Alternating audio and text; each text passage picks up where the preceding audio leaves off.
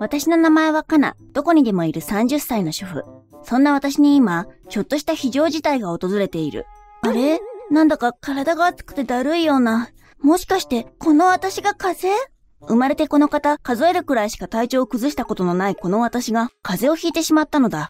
やば熱が38.6度？通りで、今日はやたらと汗かくなって思ったわけだわ。てか、本当にこれやばくない？なんか、どんどん体が重くなってきてる気がするし。そうだ、もうすぐ正午が帰ってくる時間だし、ゼリーとかスポドリとか買ってきてもらえるように連絡してみよう。私がこんなに体調を崩すの、正午と知り合って以来初めてかも。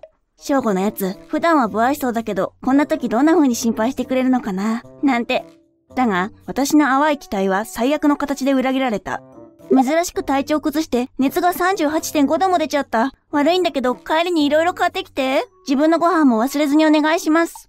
そういうことなら今日は外泊します。仕事が大事な時期で絶対移されたくないからさ。悪いんだけど、そっちはそっちで何とかしてくれ。え？どういうこと？正午来てくれないの？初めて私の体調不良に直面した夫の対応は血も涙もないものだった。夫が頼れなくなった以上、必要なものは自分で買いに行かなければいけない。そっか、みんなこんなにしんどくなってからじゃ遅いから、薬とかゼリー飲料とか常備してるんだ。やば、歩いてたら一気に体調悪くなってきた。かも。今日暑いし、喉も渇いたし。あれ？体が重い。あれ？大丈夫ですか？誰か？救急車歩くうちに朦朧としてきた私は、そのまま意識を失い、倒れてしまった。次に私が目を覚ました時には、もう次の日になっていて、そこは病院のベッドの上だった。風邪をこじらせた肺炎に脱水からの熱中症。まったく、なんでこんな無理をしたんだ？幸いすぐ救急車を呼んでもらえたから助かったけど、万が一、人気のない道で倒れてたら命も危なかったんだよ。すいません。君、一人暮らし？小銭入れとスマホ以外何も持ってないから、身元の確認もできていないんだ。家族に連絡して、着替えや保険証を持ってきてもらうように。はい。医者にそう言われ、スマホを手に取った私は驚いた。まだ風邪なの？治ってないならもう一泊するけど、返事がないってことは寝てるってことだよな。やばそうなら家族に来てもらうとかしなね。何これ？正吾、私のこと全然心配してくれてない。それに、うちの実家は遠くて気軽に来れないって知ってるはずでしょ？夫のあまりの態度に怒った私は、その怒りが伝わるように返事をしたつもりだった。おかげさまで道で倒れて入院中です。着替えや保険証は知り合いに持ってきてもらいます。了解。それだけやばい病気なら、やっぱり会わなくて正解だったな。あ、いつ退院するのかだけ教えて。こっちは仕事頑張ります。お大事に。翔吾、私のことより、そんなに仕事が大事なんだね。私の心の中に離婚の2文字がよぎった瞬間だった。結局、私は比較的近くに住んでいるいとこを頼ることにした。かなさん、無事でよかった。でも、翔吾さんが来れないから代わりに来てほしいってどういうこと？実は、カクカクしかじかなことを言われちゃって。嘘でしょ？道で倒れた奥さんよりも仕事を優先する夫なんて最低じゃん。科目に仕事に打ち込むところが好きって言ってたけど、さすがにこれはなくない？うん。まさか、こんな時でさえ仕事優先だとは思わなかった。だよね。夫婦のことだから、あんまり外から口出ししたくはないけど、ちょっとこれはね。ありがとう。私の感覚がおかしくないってだけで、ちょっと気が楽になったかも。うんうん。でも、だいぶ体調良くなったみたいでよかった。うん。お医者さんもあと数日様子見て、問題なければ退院できるって言ってた。まあ、退院したら下で、正午とどんな顔で会えばいいか、わからなくなってるけど。あ、じゃあよかったらうち来る？えっと、ありがたいけどいいの？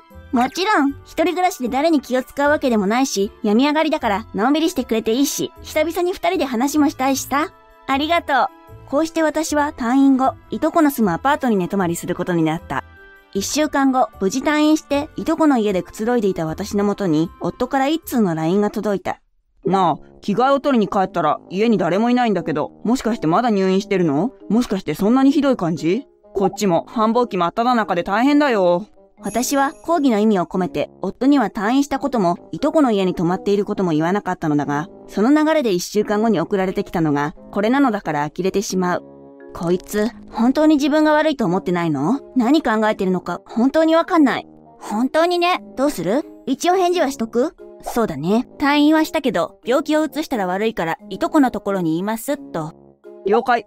もしかして怒ってる？いや、今更かよ。あんなことされて怒らないわけないでしょ？体調崩した奥さんになんでこんなに無関心なのか本当に理解できないよ。あまりのことに絶句した私はそのまま既読スルーすることに決めた。